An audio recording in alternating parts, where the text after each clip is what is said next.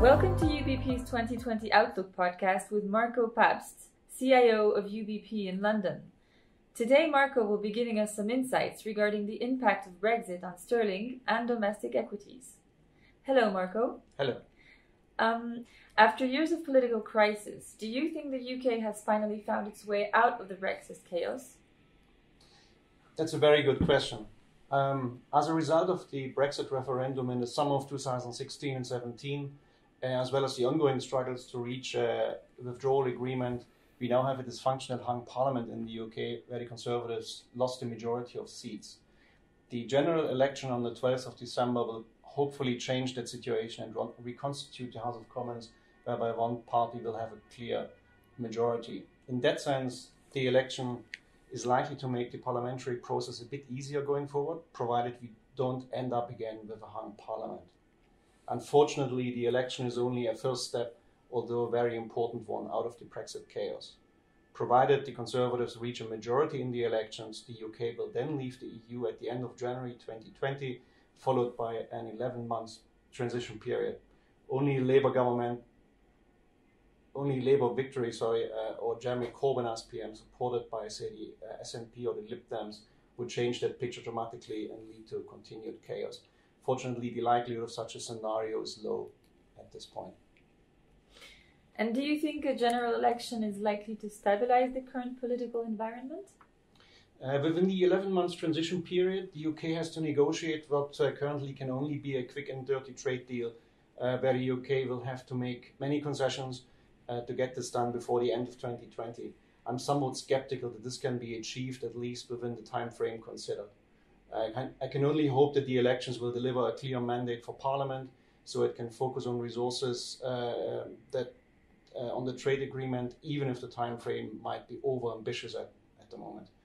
If that can be achieved, I believe Brexit uh, will slowly slip away from uh, being front page news every day, and people and businesses will simply uh, quickly move uh, and focus on life after Brexit as I said, only the only threat to this outcome uh, that I can see at this point is uh, an election result that puts Jeremy Corbyn in the seat of the prime minister. The Brexit debate would pale in comparison to the consequences of such an outcome that would much uh, would have much graver uh, implications for the UK. So, considering the somewhat uncertain outlook, can you let us know how the election outcome will impact certain asset classes? Starting with the hopefully unlikely scenario of Corbyn uh, uh, being the prime minister, the immediate impact on financial markets would simply be very bad. Considering Labour's aggressive spending plans um, that can only be funded by a substantial increase in debt, yields are expected to rise over the medium term, which would be negative for bond markets. In an initial reaction, the sterling is likely to drop substantially and could easily fall 5 to 10 points the day after the election. As for stock markets, the reaction would be somewhat mixed in the sense that multinational large caps would benefit from a weaker pound and are also less uh, related to the local economy. Small and mid caps would likely suffer initially from selling pressure, especially also when foreign investors start retreating from the UK, and also because a clean Brexit has been baked into UK domestic names uh, at the moment. Obviously, assets that might be exposed to nationalization plans under Labour would also be badly impacted. This would include utilities, railways, uh, and uh, some telecom companies. At the moment, markets are essentially assuming a conservative victory and, by extension, a positive outcome on Brexit. And could you tell investors what are the asset classes in the UK which will stand out as potential winners in a positive Brexit scenario? Sure. Uh, this scenario broadly implies a conservative government where spending will not increase by much. However, it might increase consumer confidence simply because of the risks uh, of a Labour government uh, receding. Effectively, I believe we would see a continuation of prevailing trends in markets. And this is that we would see further strength in sterling, possibly reaching and surpassing 140 against the dollar, getting closer to its fair value of around 145 to 150. To us, this is the cleanest vehicle, if you like, to play a positive Brexit and election outcome. Should the sterling strengthen further, this would see large cap performance in local currency terms somewhat curtailed due to the currency effect. In general, local stock markets tend to perform well when the home currency weakens and they would fare worse if the currency strengthens. Domestic equities would likely continue to perform well and outperform large caps at least in the medium term. GDP in general could easily reaccelerate somewhat uh, from its current pace of around 1%, which is in line with growth in the Eurozone, but only at half the level of the US. And which industries will be favored by the scenario of a strengthening currency and fiscal stimulus targeted at middle to lower income segments of the population? Um, when we look at the manifestos of Labour and the Conservatives, they look extremely different in terms of their increase in day to day spending of the government.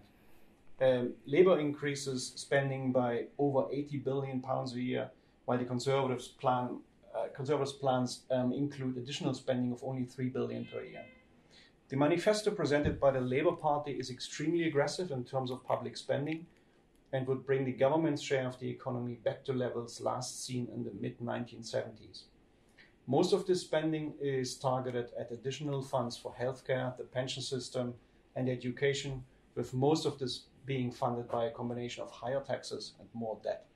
Labour plans to increase government debt by 400 billion from currently 1.8 trillion.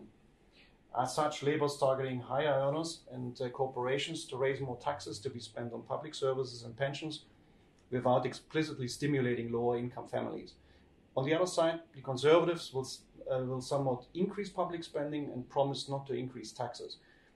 So both manifestos address some underfunded areas with additional public spending, and the stimulus would therefore be more indirect.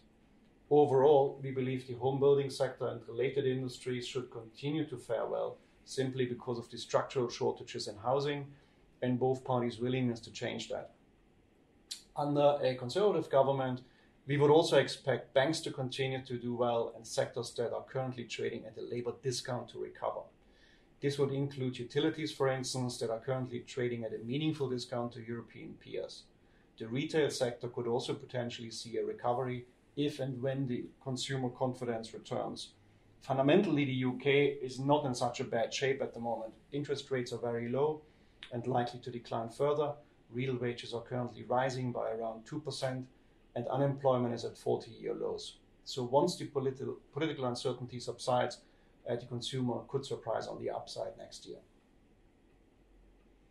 Home builders appear to be supported by several structural long term drivers in the UK. How cheap or expensive is this sector at the moment? Overall, we expect uh, the uh, home building sector and the latest industries to continue to perform well simply because of the structural shortages in housing and both parties' willingness to address this problem. Currently, supply of net additional dwellings in the UK is approximately 100,000 units below the government target of around 300,000 per annum. Labour is planning to add 1 million council homes over 10 years uh, just to give you some perspective on the scale of the problem in the UK. What is interesting about the home builder sector is that most companies in the space not only look cheap from a valuation perspective, but have also dramatically transformed their balance sheets over the years. Just to give you an idea about how radical companies have changed since their near death experience during the financial crisis, indebtedness was reduced by almost 80% over the last 10 years, Cash on balance sheets has more than tripled over the same period, and returns on equity are close to 20% at the moment. Earnings growth over the last three years was 12.5% per annum, outpacing revenue growth of 10%, while speculative building and land banking activity has declined dramatically. From an investor's perspective, the sector is still fairly cheap despite the recent rally. The average dividend yield is at over 7%, and appears sustainable as payout ratios are at 60% at present. Since the financial crisis, profits and dividend payments from homebuilding companies have multiplied many times over. The price earnings ratio, a key valuation measure uh, for equities, is at only nine times this year's earnings forecast and expected to decline to about eight times earnings next year, a substantial discount to the wider market. Overall, the sector of mid-caps is attractive, and we expect continued outperformance, also driven by earnings growth expectations of nearly 8% for next year, which is almost double of what is expected for large caps as a whole. As for UK assets in general, with a view on the upcoming election, we would be looking to hedge some of our exposure in case of an unfavorable election outcome. Thank you very much, Marco, and thank you all for listening. More podcasts on UBP's 2020 Outlook will follow in the coming days so stay tuned.